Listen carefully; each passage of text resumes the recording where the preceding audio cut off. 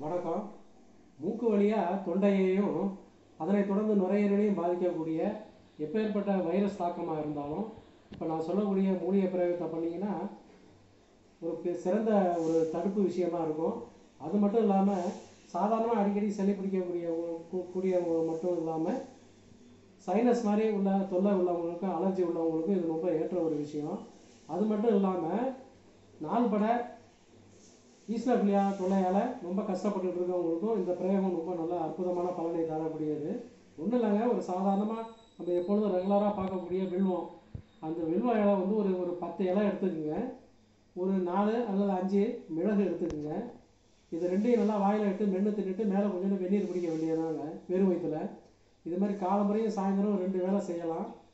பச்சையாக வில்வ இலை கிடைக்காதவங்க வில்வ இலையை வந்து நிழல் காய்ச்சலாக போட்டு நல்லா பொடி பண்ணி அதுக்கு ஒரு பாதி அளவு மிளகு பொடியை சேர்த்து வச்சுக்கிட்டு ஒரு அரை டீஸ்பூன் ரெண்டு நேரம் சாப்பிட்லாம் இல்லை மூணு நேரம் சாப்பிட்லாம். இப்படி ஒரு சாதாரண பத்தியங்களை கடைப்பிடிச்சு தொடர்ந்து சாப்பிட்டு வந்தால் ரொம்ப நல்ல விஷயங்க அது. எப்பேற்பட்ட சளிக்கட்டும் இதில் குறைஞ்சிரும். வைரஸ் தொற்றுகளும் குறைஞ்சிரும். ரெஸ்பிரேட்டரி இன்ஃபெக்ஷன் எந்த மாதிரி இன்ஃபெக்ஷனாக இருந்தாலும் குறைஞ்சிரும். இது இன்றைக்கி காலம்புற ஒரு தடவை சாப்பிட்டுட்டிங்கன்னா சாயந்தரம் வரைக்கும் உங்களுக்கு பாதுகாப்பாக இருக்கும். சாயந்தரம் சாப்பிட்டுட்டிங்கன்னா மறுநாள் வரைக்கும் சிறந்த பாதுகாப்பு அது உண்டு பண்ணக்கூடிய ஒரு அற்புதமான விஷயங்க.